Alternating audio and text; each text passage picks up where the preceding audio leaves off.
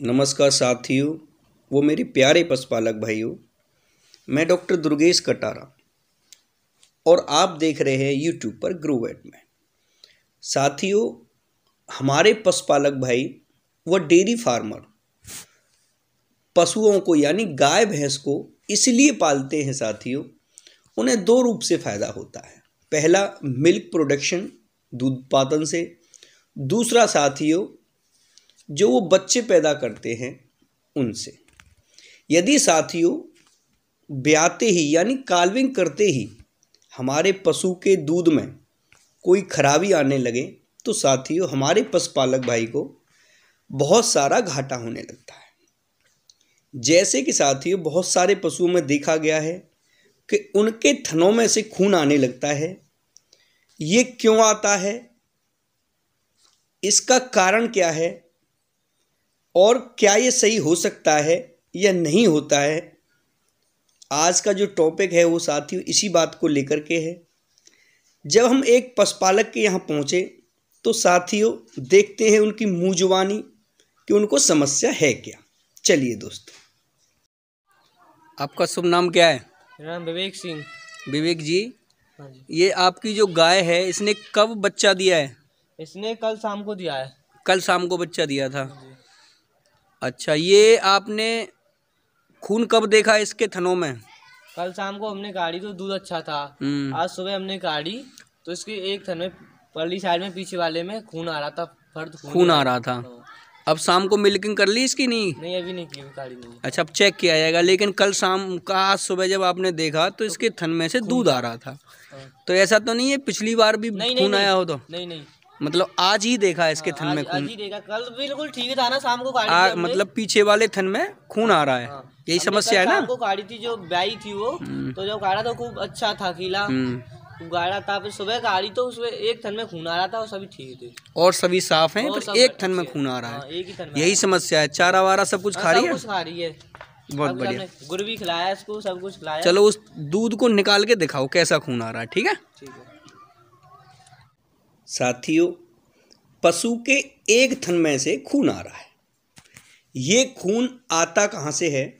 और साथियों, आज मैं आपको बताने वाला हूँ अडर के अंदर ऐसी कौन सी चीज़ होती है जो दूध का निर्माण करती है।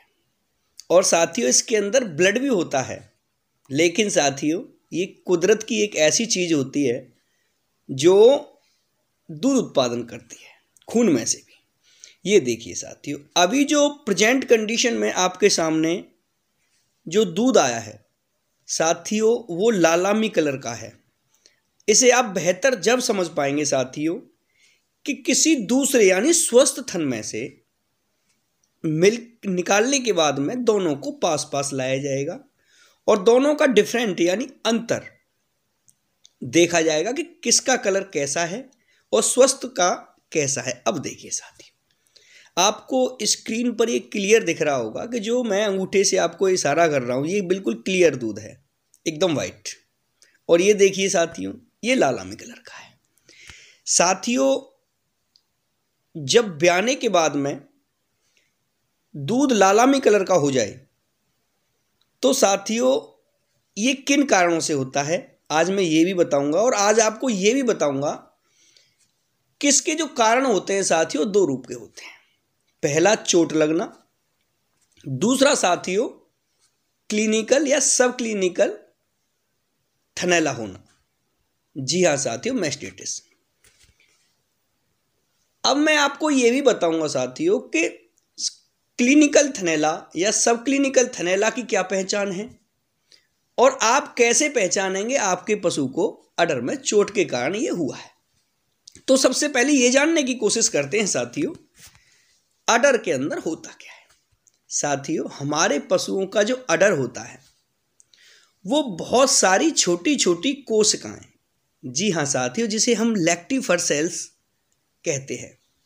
साथियों लैक्टिफर सेल्स जितने ज़्यादा पशुओं के होंगे, साथियों, वो पशु उतना ही अच्छा मिल्क प्रोडक्शन में अच्छा होता है।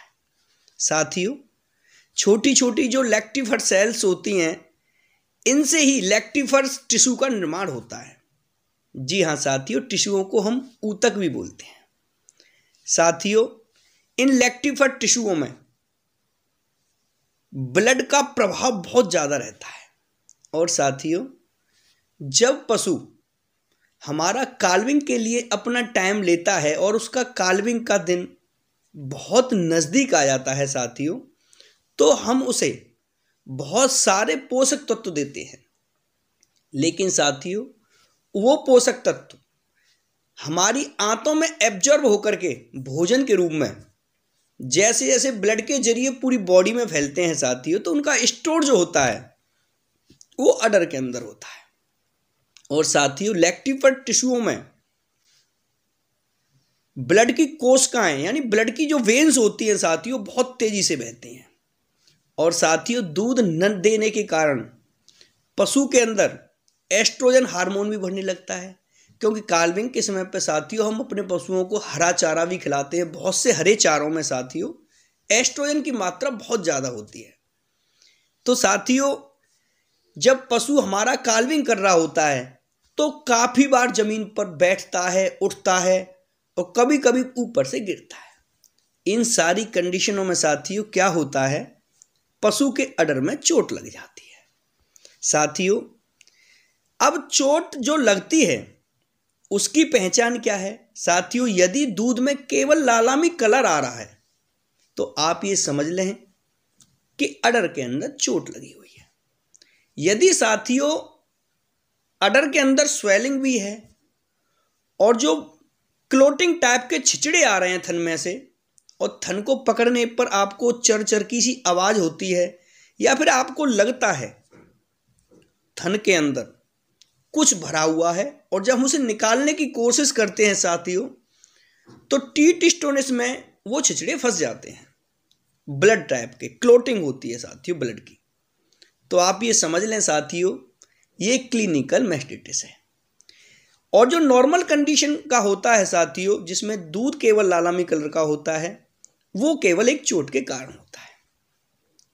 इस कंडीशन में इसका इलाज क्या करें साथियों? ये जो गाय है, इसका जो दूध है, वो नॉर्मल कंडीशन से लाल हो चुका है। और जो क्लिनिकल मेस्टिटिस होता है साथियों, उसकी सबसे बेहतर दवा क्या होती है?